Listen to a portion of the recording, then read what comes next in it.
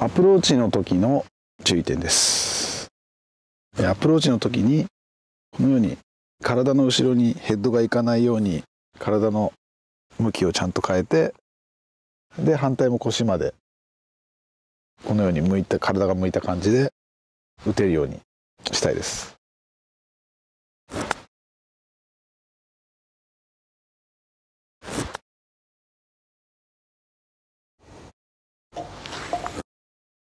でその時注意したいのがフォロー側でこのように手が返ってしまうとこのようにボールが引っかかってしまいますし意外と皆さん体を回しているつもりでも少し手がこのようにほどけてしまって左に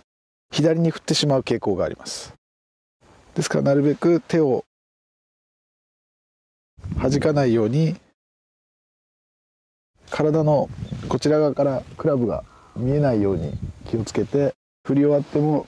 どちらかというと体に隠れているような状態で終われるように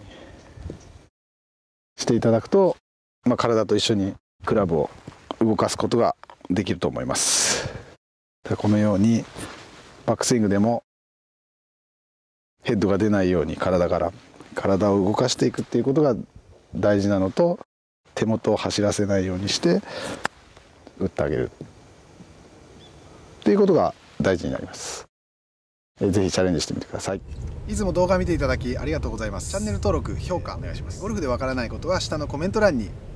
書いていただけると、え動画でアップしたいと思いますので、えよろしくお願いいたします。